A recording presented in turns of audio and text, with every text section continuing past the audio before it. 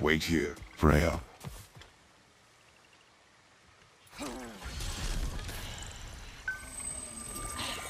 Why are you moaning, woman?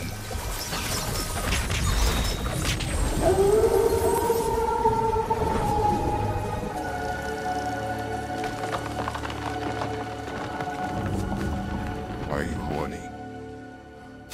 know the lad spent his time in Jotunheim learning soul magic. Perhaps the serpent figured in. You mean Atreus placed some other giant soul into him? Someone who already hated Thor to begin with? Exactly! Though that doesn't narrow it down much, I grant you. I wonder if Yorm even remembers after all this time who he once was.